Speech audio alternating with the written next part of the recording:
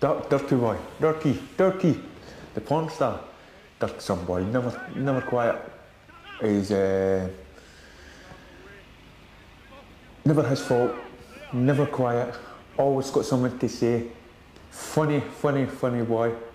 He talks with it, he's, got a kind of lisp, and the boys, as I said earlier on, two minutes and they're right into him. What's your wabbit? Whiff a wee, whiff a wee. Takes it so well, gives it back. Um, some of his gear is horrendous. Some of his clothes is horrendous.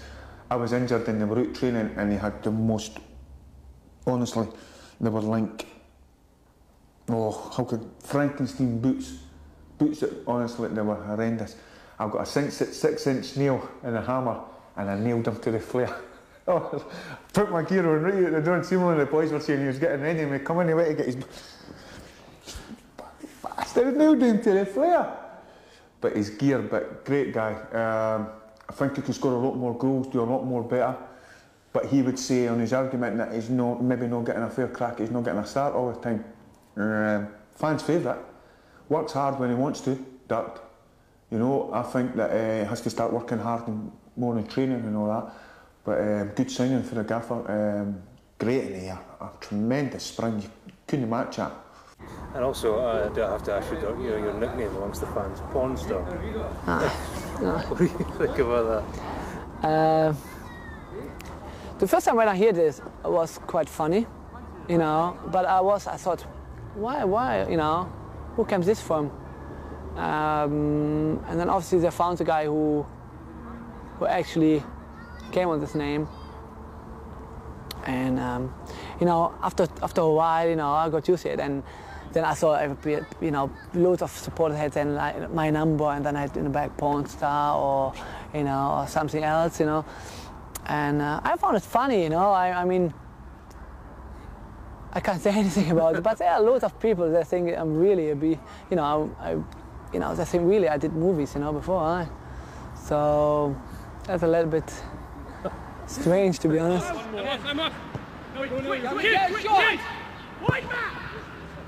Get back! Come on, John! I've had some battles with Mixu over the years. When you play against Mixu, you, you know you're in a game. Another player I think that because he doesn't, he's a centre forward and he doesn't score your 20 goals a season, that the fans maybe hold that against him. The only reason I think that he's brought Kenny Miller on, Kenny Miller's brought his cell on, but Mixu's had a big say because Mixu takes all the, he gets all the flicks, takes all the doings, take, does all the barging, the fighting, the buffeting, and everything like that. I'm hoping, as the young kids should look at Sosie Latapy and look at players up at Easter Road um, and take bits out of each and every, they should learn, look at Kenny Sale as a young kid who's just broke into the first team. Um, I'm going to do that. I'm going to do that next year. And they'll get, nah, they'll get knocks, but say, uh, no, I'll prove uh, the gaffer that actually good enough to get in the first team. And you've got boys like Ian Murray and Tam McManus that are just starting to come again, you know, and you've got about another two or three that are just no far behind them. But they just need to look at Kenny and say, that's what I want.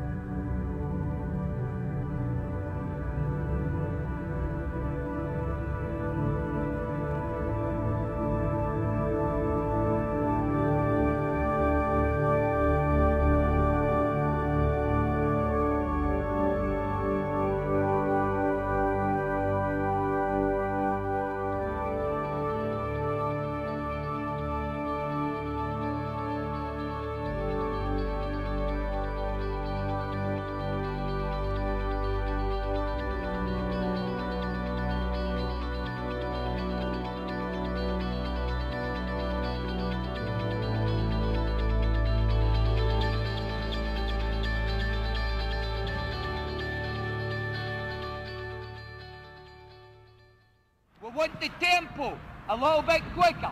When we go, we done pressure on. Well done, Pat. Be accurate, go. There we are, good ball.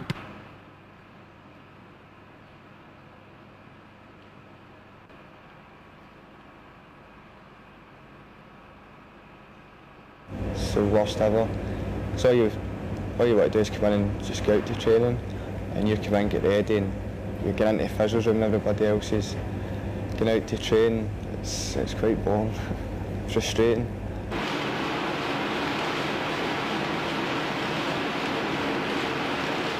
That's the thing when you're injured. Uh, he is going to look at other players, and if he feels there's somebody available that can enhance the squad, he's going to buy them.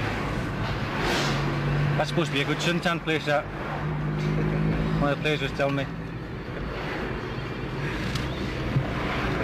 Highly recommended. Recommended. Edinburgh Academy's a good place to train at. I think it's the best we go to? Uh, it's the best for now then, after a few months of training, it goes. Yeah. It's problem with 50 guys training in one place. Soon, soon mess it up. Soon mess it up. Well done. Hey, let them know where you're supporting. Yes, round the face. Get round the face. There you are. Well done, Zico. Ah, good touch, Pat. You would then come in. And then you find her. Well done, Gary. Good. Work your way. Go and work close to the ball, Daddy. Work away from the I ball. will follow a right through from the original injury, and I'll often go onto the pitch and see the original injury, and the place will start to tell me about niggling injuries that are developing, and I can follow that right through, if it becomes a serious problem, through an operation. Most of the players here, I'll go in with the surgeon and watch the operation that they have so I can tell the players what's happened to them. And I'll go through pre-operative, I'll go in the operation with them, and I'll take the rehab right through from uh, within the treatment room out on the training pitch until they're ready to go back into training. I'll come in on a Sunday morning and assess and treat any of the players who've been injured on a Saturday. So when the training starts uh, probably on a Monday morning, I can tell the manager who's fit to train, who's not fit to train, who might be a problem for the following weekend so he can start um, his thought processes going towards that. So you're doing your two feet in each one. If I point that way, okay, he's got to step one that way, you've got to step one that way and continue. Go!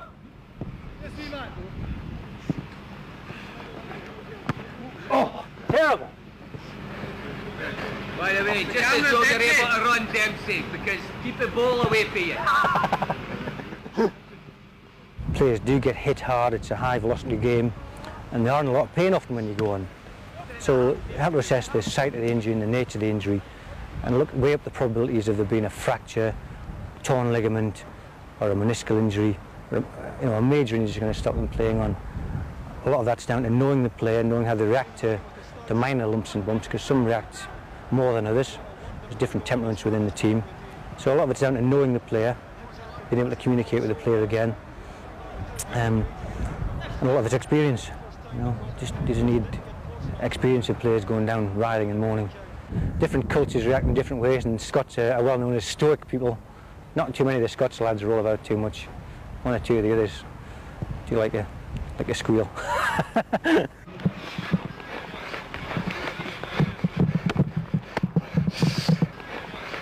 No, not right. Not right. Didn't see us like that last week. Is it? Just a quick moment, just.